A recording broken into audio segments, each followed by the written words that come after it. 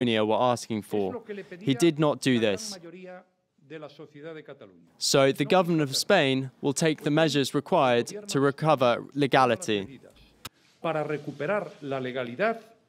That was Mariano Rajoy speaking a short while ago. Now, for more on this story, we can go across to Juan Ramon Resina, Professor of Iberian Studies at Stanford University.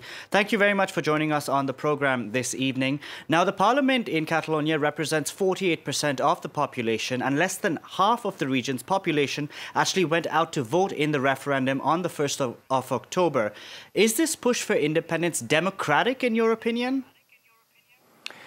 If uh, you consider democracy to be the rule of a majority, yes, it is democratic. Also, if you consider democracy to be the application of uh, existing laws, it is democratic according to the laws approved by this parliament, by the Catalan parliament. So what we have here is a clash of, uh, uh of uh, legalities.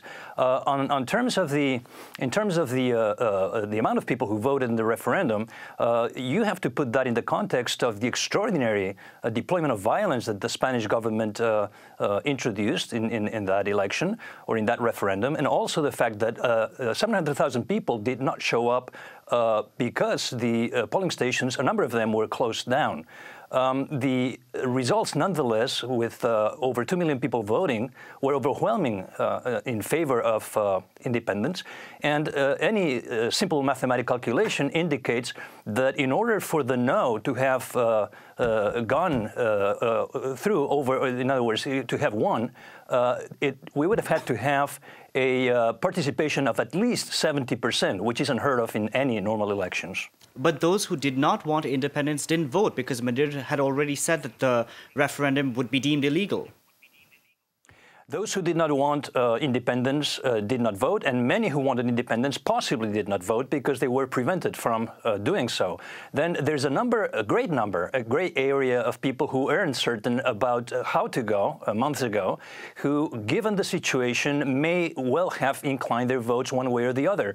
So it is really uh, hypocritical to boycott the elections to then make it a show of force to prevent people by using the batons, by using uh, uh, forbidden uh, uh, uh, rubber bullets, which are illegal in Catalonia, and then claiming that you know participation participation was was somewhat below what one would desire. This is a, a, totally hypocritical position to take. Then, once again, it should be said time and again that the number of people uh, not favoring necessarily independence, but favoring the right to decide, favoring a legal and legally binding referendum is 80% of the Catalan population. Now, 80%. So that only leaves 20% who are definitely and uh, irrecoverably against it. Now, Catalonia is one of the most autonomous regions in Spain. Why do those who want independence still feel a sense of repression? Because Catalonia uh, should be uh, one of the most, uh, should be a, a, a fully autonomous uh, uh, regional community or autonomous community within Spain, uh, according to written law, according to the statutes of autonomy. in practice, the competences of the Catalan government have been curtailed time and again, particularly in recent years under the government of Mariano Rajoy, precisely, who back in 2006 took the Statute of Autonomy that had been approved by a Spanish Congress and by referendum by the majority of the Catalan people, took it to the Constitutional Court for it to be uh, curtailed and, in fact, voided. Uh, that was an unconstitutional move. If anybody knows the Spanish Constitution, uh, that person also knows that once a law that has been passed by Congress and then approved by referendum, that is terminal. That becomes organic law. It is the ruling law in the state. Mariano Rajoy and his party went against that, uh, used a constitutional court that had members whose term had expired, um, uh, expelled from that uh, constitutional court the one Catalan member, and then voted to curtail, to eliminate the articles that he didn't like. Do you think invoking Article 155 of the Constitution will backfire on the Spanish Prime Minister? It is possible because the invocation, uh, the way it has been invoked, the, the way it has now been approved by Senate is unconstitutional. It takes on uh, powers that are not legally inscribed in the Spanish Constitution. So there we have now uh, a problem that um, uh, in order to restore so-called constitutional legality, uh, the Spanish government, the Spanish Senate, in fact, now goes against the uh, Constitution itself. Now, how do you view Carles Puigdemont in all of this? Because he's been going back and forth for the past 26 days. We thought he'd declare independence, then he didn't. He continually failed to clarify if he had declared independence. Then we thought he'd call for elections, but then he backtracked somehow. And he passed the buck onto the Catalan parliament. Is he single handedly responsible for this crisis?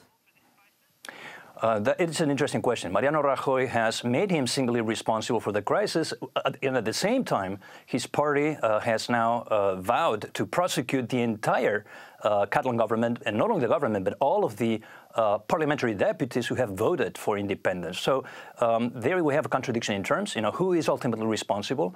My answer is that uh, Carles Puigdemont has finally, after a lot of hesitation, implemented the mandate given to him by the Catalan voters. Uh, then, secondly, yes, this hesitation also shows that he is a man who is extremely flexible and has been willing until the 11th hour, until very, very late in the game, uh, to uh, back down and to negotiate with Mariano Rajoy, with the Spanish government.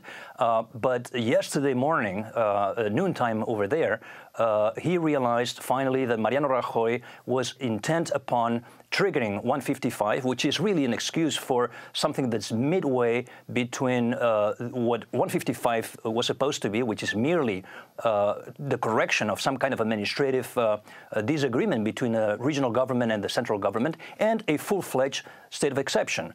When uh, Puigdemont realized that even if he called for early elections and returned the Catalan parliament to the traditional, uh, more limited uh, autonomous prerogatives, uh, even so, Mariano Rajoy was going to pass 155 in order to take over uh, the Catalan institutions and direct and, and, institute direct rule from Madrid. Juan Ramon Resina, we're going to have to leave it there. Thank you very much for joining us on the program this evening. My pleasure. Now, despite the celebrations on the street in Barcelona, the push for